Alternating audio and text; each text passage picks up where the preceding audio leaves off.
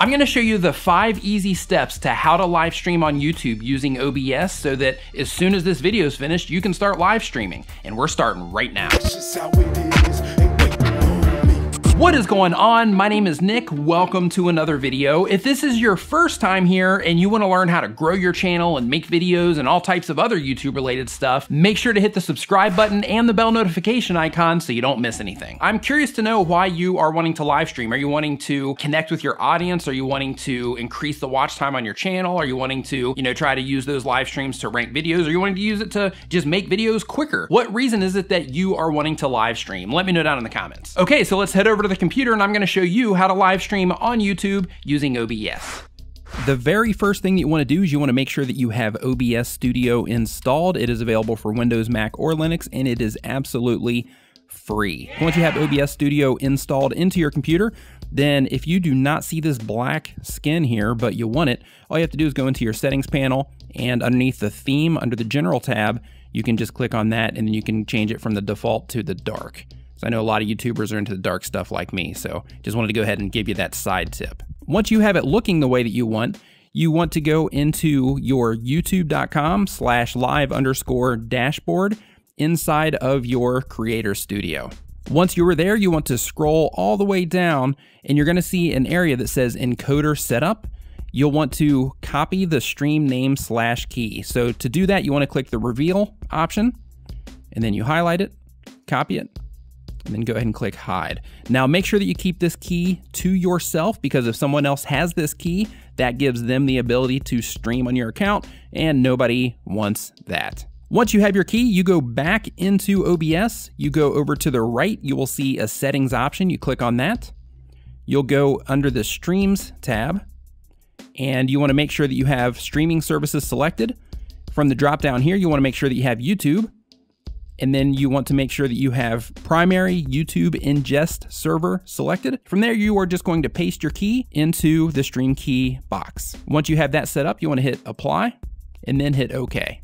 Next, we are going to assume that you already have your webcam hooked up to your computer. If you do not, go ahead and plug in your webcam, and then you want to go under the sources menu here, where it says sources, you want to go down and you want to click the little plus icon. When you do that, it's going to give you a bunch of different options, which I will go into in later tutorials. But in this one, you want to add video capture device. Give it any name that you want to. And then it's going to basically put on the screen the camera that you are pulling from. So if you get this square box like, like I see right here, then what you want to do is you want to click on the resolution tab, go to custom, and then you want to select the resolution that you want to push your video through at. Then you hit OK. And from there, there's one more step, but I'm going to give you a side tip as well. When you test everything to make sure that you have it up and running, one problem that a lot of people get when they are going live is they get an audio sync problem that happens.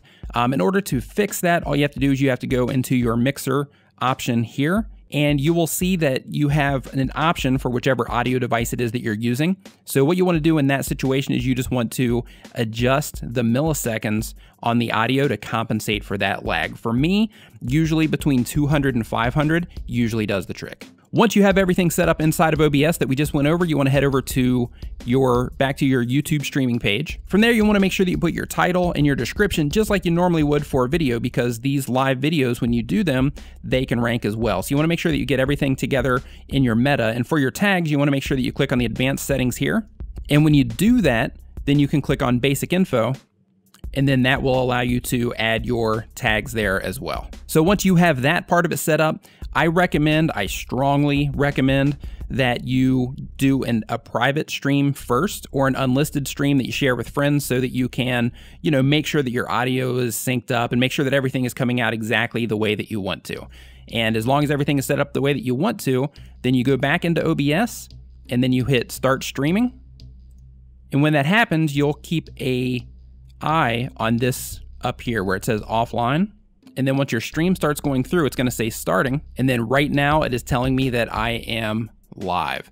So one thing that you can do is you can test your audio sync right here on this, or you can also test your audio sync um, by actually opening up your channel page and going to the specific URL of your stream, which would be whatever your channel is slash live. Then once your stream is over, all you have to do is go back into OBS and you hit stop streaming. And then from there, YouTube will close everything else down and then you are taken care of and your first stream is complete. This video is part of a playlist on how to live stream on YouTube. So if you wanna learn more advanced options inside of OBS, make sure that you go ahead and hit the subscribe button. And if I've already made the tutorials live by the time that you've gotten here, then I will put a card up here somewhere to the actual playlist. You can just click on that and then go find whatever topic it is that you're interested about about live streaming here on YouTube. To see what that's gonna look like and to see what you're gonna be able able to do once you're finished with the playlist, I'm going to put a link to my live stream up here at the top of the screen uh, in an info card. So make sure that you click that and then you'll be able to see how I'm currently running my streams and you know, you can watch a stream and learn some stuff and you can see how I'm using OBS and the different things that I'm getting it to do. If you are not already subscribed, make sure to go ahead and hit the round icon so that you don't miss anything, including the live streams. And besides that, thank you so much for watching. I'll see you next time.